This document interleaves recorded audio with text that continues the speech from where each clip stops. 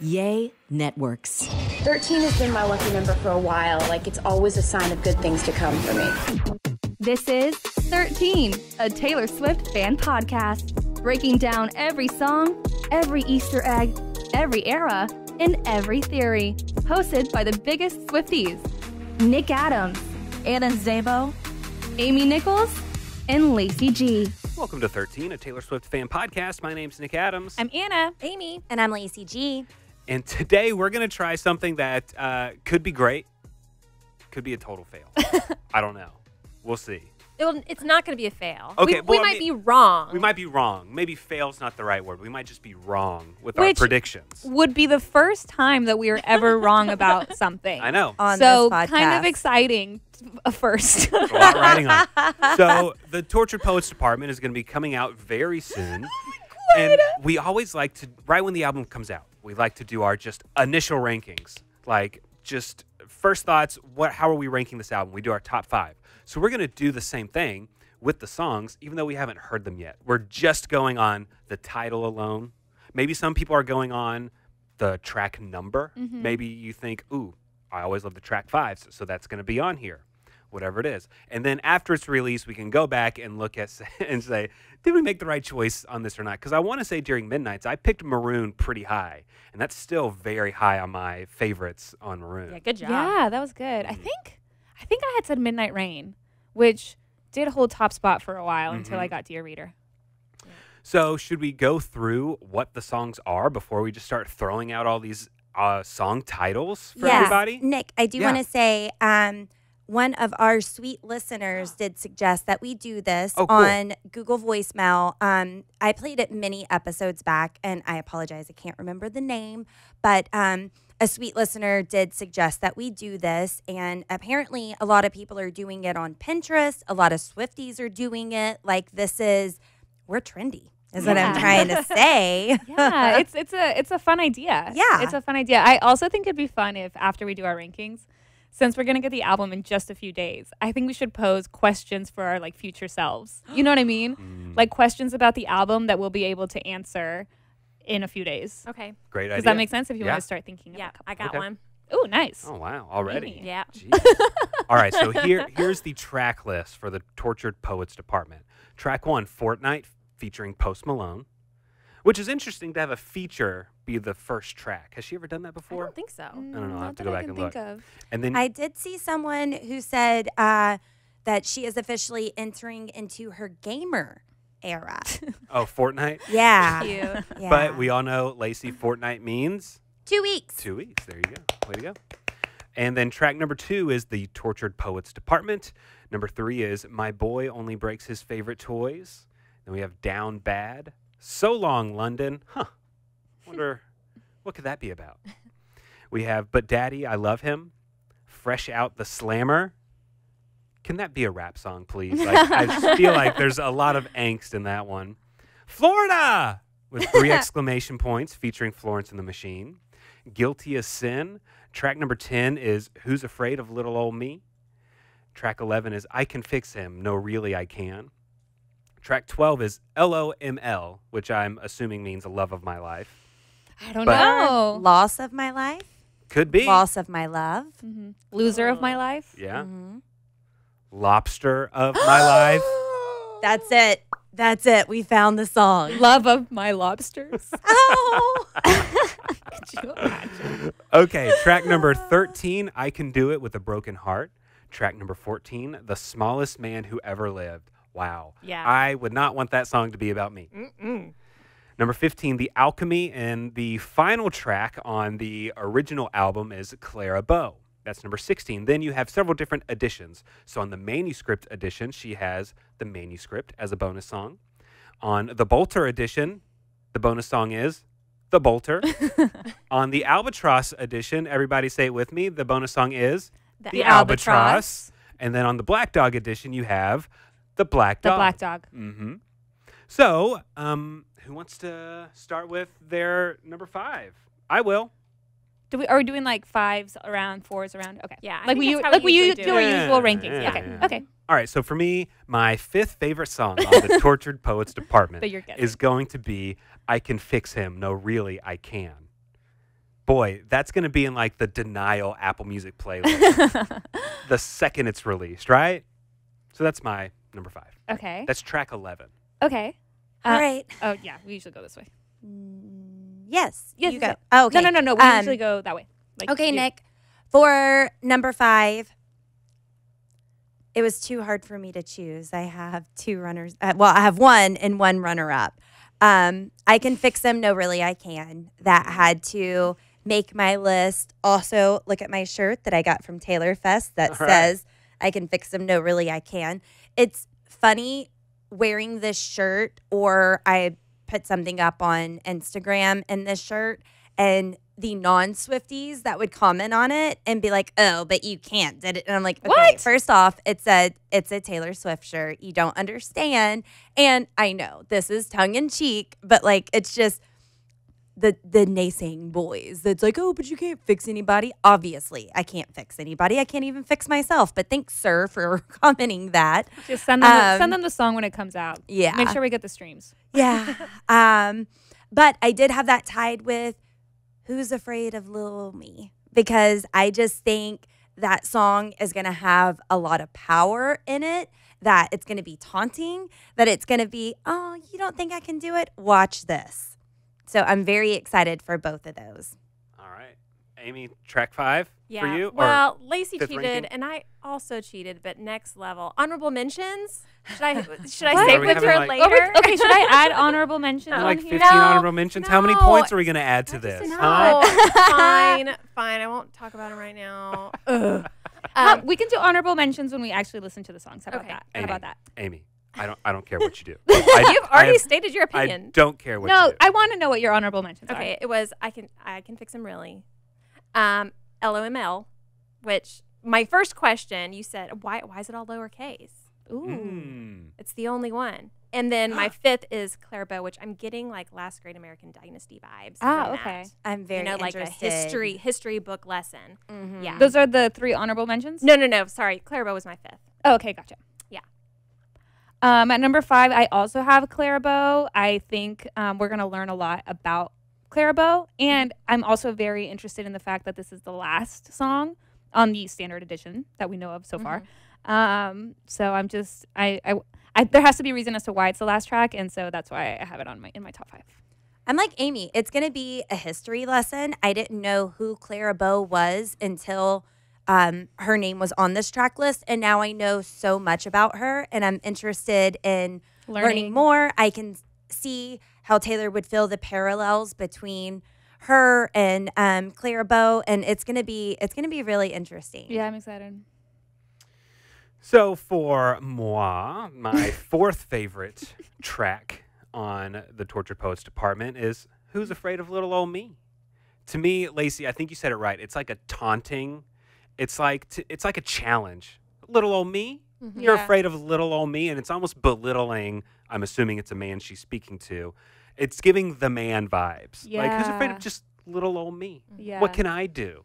I'll show you what I can do. Here you go. Yeah. Break your heart. There's Yeah. also thoughts that that can be referencing uh, or have references to um, Elizabeth Taylor and Richard Burton, and they did a movie, Who's Afraid of Virginia Woolf, Oh, yeah. or something. So Mhm. there's a lot of ties to that. Nikki King talks about it a lot on TikTok. So go check out what she's saying, what a lot of people are saying. But yeah, I think that's going to be powerful for sure. Lacey, what's your fourth favorite? So for number four, I'm picking the manuscript. Mhm. I think there's going to be, I- mean, that's the whole theme that she's going with with the Tortured Poets Department. I wonder what the manuscript is going to be about. I have absolutely no idea. I did read um, someone called What's That Cute Thing on Reddit was theorizing the manuscript. What if this is the man you script, like just broken down? Since theorizing this is a lot about relationships, failing a relationship. I can fix them. No, really, I can. If this was the man you script. And I just thought that was an interesting take. Like the man you create, Yeah. the man you Yeah, the the man you tried like if you just break that word down and make it separately. I don't know that I think that. Who knows, Yeah. though? But I do think there's going to be some significant tie in since that's the um, whole theme of the tortured poets getting out their manuscript. All right, my number four, I have my boy only breaks his favorite toys. And I think what really is drawing me in on that is the possession. My boy, not I don't know. There's just something about it's like, okay, this is this is going to be a little painful, and I love the painful song Eh, it's giving. This is why we can't have nice things. Mm-hmm. My boy only breaks his toys. Well, shiny, shiny toys, you know that I bought it. Yeah. Mm-hmm. Mm-hmm. All right, Ana. Fourth favorite. For number four, I have guilty as sin question mark. I'm intrigued by the question mark, and we have heard her say guilty as sin before in um, Carolina. So even though like we haven't heard the song yet, in my head I read it as guilty as sin. Na, na, na, na. But um, I'm really interested. I'm I'm very very very intrigued by the fact that there's a question mark in this. Guilty as sin. mm-hmm. Mm-hmm. Guilty as sin. All right, moving on to our third favorite tracks on the Tortured Poets Department without hearing it at all. Uh, for me, number three is going to be LOML. And just a second ago, y'all were talking about LOML and what does it mean. May, what I'm thinking is maybe it was sent in a text message that's very texty, Yeah. like LOL, uh, whatever else people abbreviate into just little letters. Hmm. LOL. I'm laugh- just I'm thinking of Phil Dunphy right now. LOL. Laugh out loud. Uh-huh. WTF? Why the face? it makes me think um, this conversation that maybe you don't use those so much. Nick. I don't. I don't Yeah, really wh- use wh- the what- abbreviated What's things. the last one you think you used Probably- in your text? Probably LOL, which I was for a long time staunchly against LOL. I was too. And the same thing with sending emojis, but now that's just what you got to do. Yeah. Well, Well, I, I spell it out. LOL. Laugh out loud. Laugh I'm out not, loud, I'm not wow. going to do LOL. You also use Android, so um, I don't know. I don't know, Amy. The hate I don't know. this. This the smaller community in the Swifty community is the haters of the androids in the Swifty community. Android Swifties. Need to start a movement, Amy. Android Swifties. Android Swifties. One of my favorite things that Amy ever did was at one point she had to like issue an apology for something that she said on the podcast. Yeah, yeah. And so she photoshopped the iPhone Notes app for her apology for us to Did. post on Instagram. Did. And it was just so funny to me the fact that she photoshopped it to look like it was on the iPhone Notes app. That's one of my favorite things you've ever done. but Incredible. LOML. LOML. Typically it does stand for love of my, Love of life, my life, right? yeah. But I feel like I feel like it won't. Yeah, maybe. We'll see. All right, Lacey, what you got for your third favorite? Third favorite, alchemy. Um, I've been reading a lot into this. Alchemy refers to uh, the process of turning something into gold. Gold Rush from Evermore is about how everybody wants Joe. People flock to glimpse him and graze him as if he was precious gold. You've got Champagne Problems based off a fictional story. I, there's just there's going to be a lot there. Touching the Midas touch, Chevy door, painting everything gold, and now it's not gold anymore. It was that cheap gold that has rusted and changed colors, and um, now alchemy is going to become this tragic metaphor of that. And I'm just really interested about her tie-in, about how her mind works just in general, because we know how creative she is. So to be able to take back the color gold and change it, and that's what I think she's going to be doing in alchemy. I also have number three as the alchemy. Um, I'm down for the tragedy metaphor. Yeah. So I'm especially excited. especially when we've seen it across multiple albums. hmm That's gonna And a little witchy, you know, little willow, Yeah. like I don't know, manipulating the Mhm. elements, kind of stuff. yeah yeah yeah. Um, for number three, I have "So Long London." I mean, it's track five. Yeah. Do I dare say more? Yeah. It's a podcast. I'd like you to say a little more. Uh, so historically, track five on a Taylor Swift album tends to be the more the most Emotional. emotionally driven song, and the fact that it's just flat out "So Long London." like that is just that's that's a that's a shot in the heart that's a that's a blatant dig so i'm um i'm really scared to hear it but i'm really excited to hear it and yeah so i have so long london i couldn't not have track five in my predictions for my top five but there's two other song titles that kind of got my attention a little bit more um also, I'm going to London this summer, and so I already plan to use "So Long London" lyrics in my Instagram. Can't wait. I like him. Thanks, Amy. From her Android phone. they have Instagram apps on Android. They do. Guys, leave. Amy alone. Why are y'all picking on her? All right, so moving on to our second favorite track on the Torture Poets Department, But Daddy, I Love Him. It's such a, no matter how old you are, your dad's going to try and take care of you, and your dad's going to say, like, Taylor, this isn't right. This isn't working. Protect yourself. Uh, but daddy, I love him. And it's just like, it hurts as a dad. It's just like, I know I'm going to hear that at some point one day and it's just like oh my gosh i feel like this song is already going to crush me and it also brings me back to like all too well 10 minute version how her dad plays a role in that story of like the You're boyfriend is to trying to win over the dad and being sweet to the dad and then your dad tells you like it's supposed to be fun turning 21 like don't look at the door because he's not there. And it's like oh my gosh this is going to hurt me i think. It's going to be rough. Aw. all right lacey second favorite?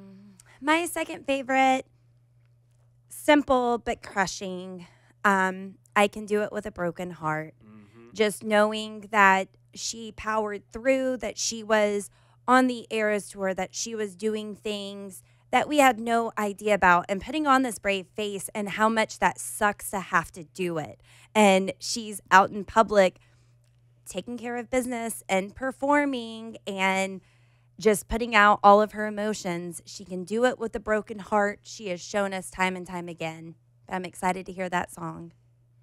Uh, I also have "But Daddy, I Love Him" as my number two for the same reasons, Nick. Mhm. Mm, it's gonna be sad. It's gonna hurt It's so good. All right, Ana, second favorite. For number, my second favorite, I'm predicting um, the Black Dog. This is one of the bonus uh, tracks on the vi- on the different editions of it. I pi- I picked this because a it's my favorite cover of all of the four variants. It's the one where she's kind of like she. It looks like she's taking her own pulse, and it almost looks like her body's like in the shape of a heart. Um, it just immediately, immediately, immediately became my favorite cover. I just loved it so much, and also the Black Dog. I have learned is a metaphor for depression. Um, and also the Black Dog, I believe, is like a pub in London or something. So I think there's just going to be a lot of layers to this one. And the fact that it's a bonus track, I've never met a bonus track that I didn't like. True. So I think there's going to be there's going to be something about that one that's going to resonate with me. I Is mean, that the pub where she th- allegedly threw up outside? I don't know. Okay. I would have to fact check that.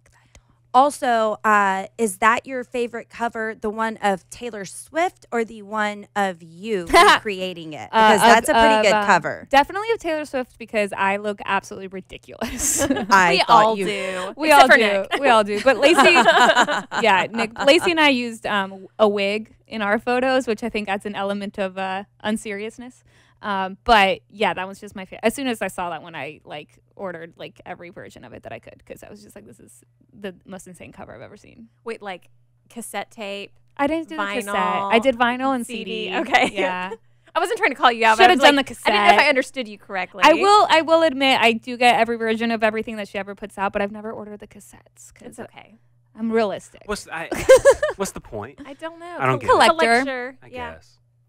I guess It's a What? collector. It's a I collector's think I item. said that weird. Collector? Yeah, I don't know what I said, but it, when I said it, I was like, that doesn't sound right. I'm Hmm. not going to say it again. Okay. Is it the thesaurus? Maybe. Thesaurus. the next one. We'll fix it in post. Thanks. Yeah. Hey guys, maybe the black dog is Taylor finally having a Harry Potter song and she's singing about Sirius Black. Maybe. Anybody? Maybe. Sorry, I had to throw. I know we had moved past the jokes. No. Had to throw that in No, there but for we- our but we've, Harry um, Potter Swifties. We've connected other songs to I, I Harry think Potter we're finally going to get Yeah. that Harry Potter song. so- which is also shocking because we know Taylor is a cat person. Very true. hmm Well, Hermione has a cat. I'm currently reading Harry Potter Oh. books with with my son. What so like that's our nightly thing. Right now we're on the Chamber of Secrets. Oh, okay. We okay. have gotten into the chamber. So he Oh, okay. I don't want to spoil it, but he's in the chamber and He's- secrets. he's in there. finding out the heir of Slytherin. So it's Oh. it's pretty wild. What house are you? I mean, everyone's going to say they want to be a Gryffindor. I would love to be a Gryffindor. Oh, you've never taken the test? I mean, I think I did, and I didn't like what it said. I don't but remember. I like. I don't want to. I don't want to be a Ravenclaw. Sorry, I said it. I don't want to be a Ravenclaw. I want to be a Gryffindor. So You- that's what I am. Oh, because I took the test and I'm a Hufflepuff, hmm and I'm proud of it. It's cool. It's cool. Congratulations. Number So one. sassy. You're the one that wanted to talk about Harry Potter. I don't know what's up. Okay. My favorite song without hearing the Tortured Poets Department is I Can Do It With a Broken Heart. It's definitely giving me you're on your own kid vibes. Like something bad happened, I'm going to persevere, I'm moving on, I can do this. No matter what the circumstances are, I'm going to do it. So hopefully it's a song about like perseverance and believing in yourself. That's what I'm that's what I'm hoping for. Like an uplifting song even though it's kind of a sad title. That's my favorite. Lacey? Now I'm questioning if I saw something that was photoshopped or not. I thought we were all going to have the same number one. For number one, I picked uh, track five, So Long London. Is this a nine minute and 28 I s- second song? I or saw is that too. Okay. But I don't know that it's fact. Okay. Uh, I don't know. On I have Spotify, so I don't know if Apple Music is different. But on Spotify, it doesn't show the track length. I'm on Wikipedia, and currently that's it says that that track is four minutes and 22 seconds. Dang it. I- I, saw the same thing though. The Lisa. longest I've- being "Who's Afraid of Little Old Me" at five minutes and 34 seconds. So my basis is also on that. So Okay. I'm with you. So I've seen on TikTok that So Long London is nine minutes, 28 seconds. We're getting another 10 minute version. I don't know if this is true. There's a lot of Photoshop stuff going around. I don't know that anything's been confirmed. But assuming that it is 928, that's also her and Joe's anniversary. Oh, She- shit. She, changed oh, a lyric one time to uh 928 i can't remember the song but she covered like September. thank you. Yeah she covered that and changed the date to 928 that is um her and joe's anniversary. She loves numbers. She loves number numerology. She does things for a reason and if that is just one more shot at this then that's incredible um also, I think it's going to be You're Losing Me Part Two. I think it's going to be just a long, all too well 10 minute version. This is what I wanted to say. And it's enough great things to put in a 10 minute song because it's so unpopular to have that length. Yeah. So that's my number one. Um, I do want to say one more. Um, what if this is a picture to burn or better than revenge track? If it is just a, Hmm. uh, Bye. yeah, uh, if it's not just the sad, you're losing me sister song, if it is more of a triumphant Yeah. So picture, yeah, a picture to burn. I'm out, bitch. um, we'll see. We we have another couple days. Amy, favorite song? Number one, copy paste. So long, London. Mm. Um, I you know saw the same thing. So I'm wondering, was this recorded the same way as the original All Too Well 10 minute version, like a runoff? That that's the question I have. Like, was it just something she was just ranting on and on in the studio, and it just became something, or was this meticulous and planning and writing it out, poetry, and um, I don't know. So that's my question. Do you to think her. that if it's not true, if it's actually like four minutes or something, do you think you're going to be disappointed? No, it's five. It's the fifth track. I don't think you can go wrong with that. Yeah. It's still going to be great. They're all going to be great. We could be days away from hearing our new favorite album. Mm-hmm. which is insane to think about. Out of all of her music, we love it all, and we're still gonna have more music, more songs to love, more things to dissect, more things to get all in the feels about. I have um, Ana still has to do hers, but I have some. Uh, friendship bracelets that I've seen people making in preparation for this Oh, album. Yeah. Great. Um, for me, the song on the Torture Poets Department that I'm predicting will be my favorite without hearing it is "I Can Do It with a Broken Heart." Also, I think, I think it's, I think the title is just that was like that was the first title that I saw that immediately was like this is going to be a heartbreaking album, and I think it's also so far one that we have seen happen like in the Eras tour we've seen her perform love songs as she's going through a breakup we've seen her um you know, tr- basically do it do it with a broken heart. Put on an amazing show, a show with a broken heart and get through it and write songs and everything. So, I think uh, I I just think I don't know that title is just so.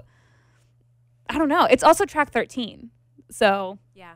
um, that's really special. So I just I'm just predicting that that'll be um, that'll be my favorite. And it's crazy because like it's like I do feel inclined to want to, you know, as soon as we get the album, like listen to that one first. But it feels wrong to not listen in order. I feel you. Mm. Yeah. Well, you'll be In with order. us, and we've already decided. Yeah. So Oh yeah. And thank you, Amy. Great segue. We are having a live listening party on our YouTube channel. And you can find that YouTube channel in the description of this podcast, I hope. Mhm. Hopefully. Yes. Yes, it is there. And Um, 13podcast.net. and the 13podcast.net is there where you can find all the information for everything that we're doing. But yeah, we're going to have a live listening party online on our YouTube channel the night that this comes out. So whether it's 11 o'clock on the 18th Central Time for you, or if it's midnight Eastern Time on the 19th for you, tune in. We're going to be listening to every song together, talking about it, and just going track by track and listening to it for the very first time. So we did this with Midnights, and it was a blast. It was so, fun, and Yeah, it's so gonna do it again. special. hmm yes, a nice moment we can all share together. And that's not the only big event we're doing. A week after that, we're going to be having our own event at Grandscape in the Colony in Texas from 2 to 5 on April 27th. That's a Saturday. Come hang out with us for Swifties in the Park. All the info for tickets and things like that are in the description of our podcast as well. We would love to hang out with you. Maybe you can win some fun prizes. It's going to be a blast. we can definitely console each other after going through this heartbreak together of what's going to be the Tortured Poets Department. It's going to be a good time. It's always a good time to get together with Swifties and celebrate and talk and theorize. And it's just it, playing this new album on repeat. It's going to be a super good time. So we would love to see you all there. Now, Ana, you said we need to ask questions to our future self. Yes. Right? If we have any, like, pose a question right now that we can basically listen back and answer in just a few days. Like, for example, I want to know to our future selves what was the most shocking part of the Tortured Poets Department? That's like, you know, like, I feel like we have a lot of suspicions and expectations, but what was the most shocking part? Like, for Midnights, I would say the most shocking thing was hitting play on Midnight Rain. Yeah. You know? Mhm. So I kind of want to know, like, what is going to be the most shocking part of the Tortured Poets Department? That's a good question. Um, okay, I'll go along the same lines and just say, what is your favorite? I don't want to say new word, but what is your favorite unique word Oh, yeah. that Taylor threw into the Tortured Poets? Because we're obviously getting poetry vibes, so we're thinking Taylor is really going to lean into using a well-rounded vocabulary. and so maybe like, what word did you have to look up? Oh, that's my question. What word did you have to look up Oh, great question. that was used in the Tortured Poets department? Great question. Okay. Yes.